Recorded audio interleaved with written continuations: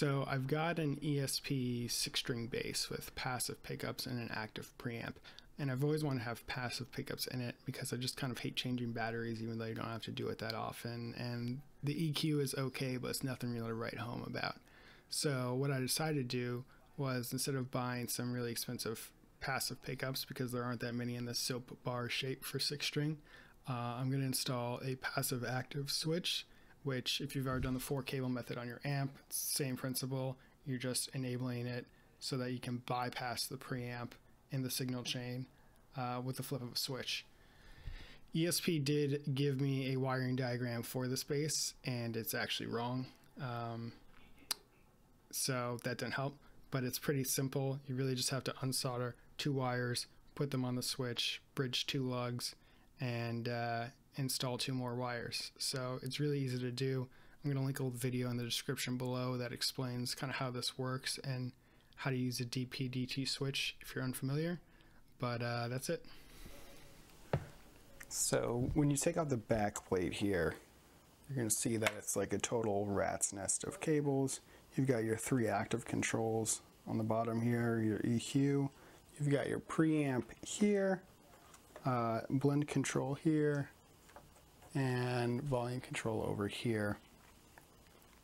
Um, you can see that the uh, output jack has actually had one of the tabs squished a little bit to fit the preamp in, but there is room over here on the right of the preamp. Um, this switch I got is insanely large. I thought it was going to be a micro switch, and it's not. It does have this cool on-off bezel, so I kind of like that. So I'll wire it so the on position, the preamp will be on, the off position, the preamp will be bypassed, and it does fit perfectly here. So it'll be annoying to drill that out, but um, I'm going to wire it all up, make sure it works and it sounds good before I actually drill any holes in the bass.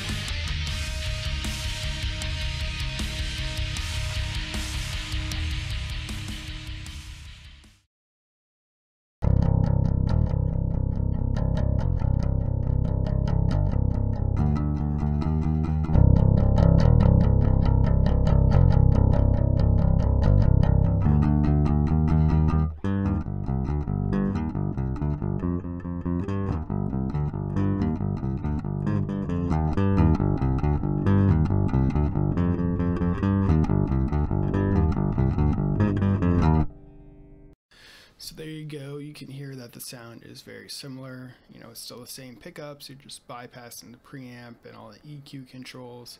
So the benefit is if your battery dies or you just don't want to fuck with batteries anymore, um, you can just flip a switch, do passive mode.